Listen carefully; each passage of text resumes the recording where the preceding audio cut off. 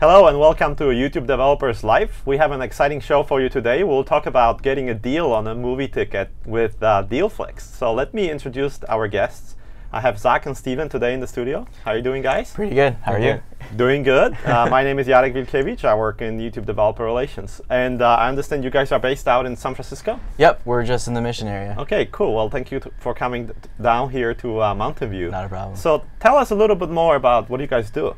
Yeah, Dealflicks is a Priceline for movie tickets. So okay. essentially, you come to our website, dealflicks.com, find a theater near you, mm -hmm. find the movies that are playing there that we have, and find a deal up to 60% off. Cool.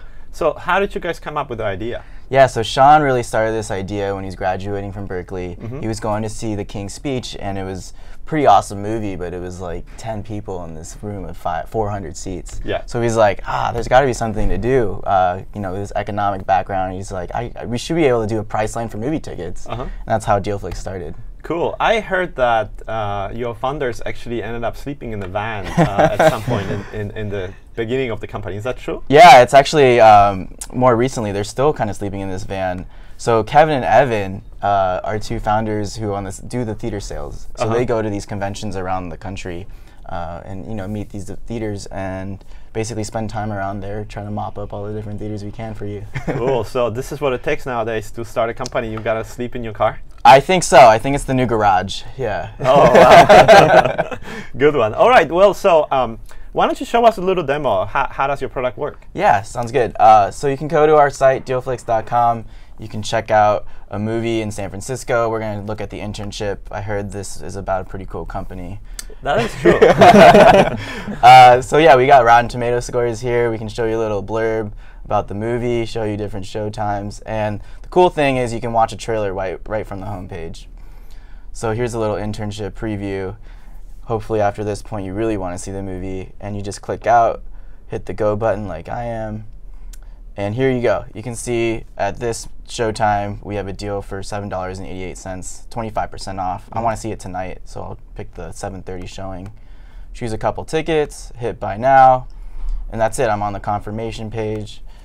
I can put in a little coupon code, YouTube Live. Oh wow, is that a secret coupon code? Uh, just for you guys, just for you guys. Thank you.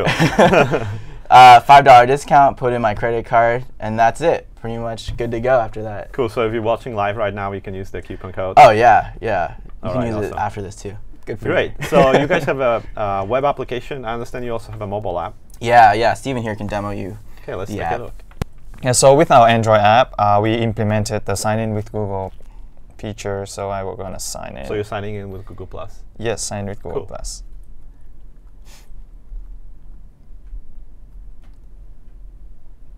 Uh, okay. Still signing in? Yes. Uh-oh. Let me try again. no worries. Oh, people are going to see that. So why uh, Steven is uh, setting sure. it up. Um, so tell me a little more about uh, the Android app. Like, what's the capabilities and uh, yeah. what what you guys uh, implemented? Yeah, so it's it's a completely native app. Um, we really try to streamline the process. Mm -hmm. So you just find your theater, pick your movie, pick your deals, right? So we've integrated YouTube though. Um, the YouTube native player. So mm -hmm. basically allow you to watch the trailer without having to leave the app and, and avoid uh, you, you know, having to come back and find where you are too. Mm -hmm. So that was really cool. The SDK was really simple to integrate. Um, and then pretty much after that, it's, you know, I hope it's as easy as it can be. cool. So I see Steven sign in awesome. successfully. So should we uh, switch to the app and see what, what it does? Sounds good. Cool. Sounds good. Um, so from here, I can go to the same movie that Zach just showed you guys. So I go to the internship. Mm -hmm. And from here, we can look at all the information of the movie, and look at the Rotten Tomato score, and we can watch the trailer. Pretty nice. cool. And so this um, is using the YouTube Android Player API. Exactly. Yes, exactly. Mm -hmm. So let me pick a ticket, and I can check out using the same coupon code. YouTube. the secret deal. Live secret deal, just for the day. the password is Nice. So here, after that, I can just enter my credit card number and purchase. Uh huh. Great. And then you get an email, or like how you actually? Yeah, What do you do so- at the theater? So at the theater, you'll you'll get an email. You can show that email voucher to them. Uh-huh. It has a confirmation code, um, and then you can also show that on your device. So w- within, Oh, I see. uh, you can go back to your purchases. I think you have a couple purchases. No, this, Oh. uh, Not in this account. Not on this account, but uh, yeah, you can just show your purchase on your phone, Mhm. and then that's it. the The theater has a backend system where they re- they um, reconcile the, the deal. Okay, cool. So um, tell me a little bit more about uh, your implementation. Uh, maybe starting with your web application. Yeah, yeah. So we run, uh, we program in Python. We're using the Tornado framework. Mhm. Um, it's just a really simple system that I like, uh, really bare bones. It allows Mhm. me to write all the SQL ourselves if we need to.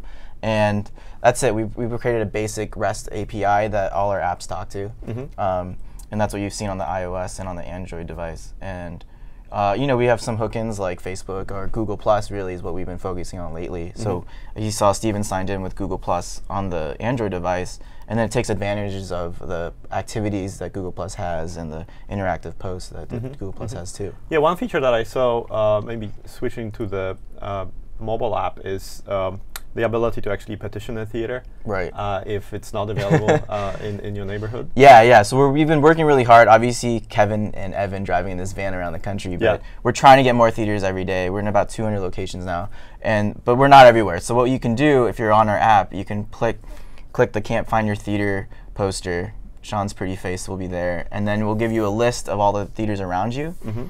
and you can petition for them. Basically, what a petition means is I'm going to say on Google Plus that I want this theater. Mhm. Um, and that's an interactive post. Exactly. Mhm. Yeah. Cool. And then, uh, so talking about the mobile application, so how did you guys implement that? Um, yeah, so it's a, it's a native app. We, we use a lot of you know standard I think third party widgets like the Action Bar Sherlock I think is one of them that's really cool to use. Um, the grids uh, is obviously another thing that really was helpful in our in our layout. Um, is there anything else you can think of, Steven? Uh, we, we use um, some um, SDK for RESTful API. Mm-hmm. And we are gonna use, I think we are looking into Volley. Which should be So that communicates with your Python uh, backend. Exactly. Uh-huh. Yeah. And then you're using the YouTube Android Player API for the video playback. What about the uh, video itself? Like, how do you guys know which trailer to play? Yeah, it's a little bit of a manual process right now. Old when we're- school. Yeah, we're pretty old school when it comes to that. We're not used to grunt work. Um, so yeah, when we sign up with, uh, sorry, when we get showtimes for a theater, we'll have to pick the movie out, and Uh-huh. then we'll, we'll put in that YouTube trailer ID. Got when we it. go on. Yeah. You know, we have to scour the YouTube. Unfortunately, no data API integrations yet. Yeah, yeah. For those of you watching, uh, you can actually do the lookup using our data API, so you can look for for trailers. So I recommend Yeah. uh, using that. As you guys grow, it may become increasingly more difficult to Oh, actually yeah. Uh, stay on top of that. Definitely. Uh, and then you know we were we were chatting earlier today about you know some of the capabilities that data API might give you in the UGC area, like Yeah. showcasing some user generated content. yeah, I'm pretty uh, excited well. about it actually. cool. Um, so have you guys looked into the data API v3 yet? Not not yet. Good. So uh, that's uh, something that maybe you can do uh, later today. uh, and then uh, one question that I always ask my my guests here is: um, Did you guys run into anything unexpected, like things that you didn't expect and you know learn while developing the application, whether there are technical uh, issues or, or business challenges, like anything you would be willing to share with our audience? Yeah, I think you know from a startup perspective, trying to figure out the right product to sell was a challenge for us in the beginning. So two years ago, when when Sean came up with this idea, it was very much an opaque model, similar to Hotwire, where you could pick a movie and we tell you one of two locations where this movie could be playing. But mm-hmm. users really didn't like that experience, and so we we changed it to this opaque model based on showtime. Mm-hmm. And like okay we'll play this movie at this theater you want and it's a really good discount. It's even better than if we were to tell you like the exact showtime. Mm-hmm. Um, but but you'd have to be like one of these random 2 and people didn't like that either so at the end of the day it's really down to getting to know the exact showtime that you want at the exact location that you want it at and if the, the deal doesn't have to be so high but just enough that you're willing to use uh, dealflicks to get that deal Mm-hmm. Cool, cool. So you guys uh, uh, did some changes to the business model as you as you went along. yeah yeah Cool. Anything on the API front that uh, you guys wish we had and we don't? Uh, I think it's been requested a lot. You know, a native uh, iOS experience for Yeah. the player. That's true. So right now, uh, you guys have an iOS app right now, Right. and, and what do you guys use there for playback? We just use a UI web view. Yeah. Okay, and the iframe embed. Yeah. Okay, yeah, that, that is something that actually uh, comes up a lot. Cool. No worries. Uh, great. So uh, I'm gonna uh, see if we have any questions from uh, our audience real quick here. Sure. Uh, I see there's uh, one question that is relevant, um, and I think it's addressed to me.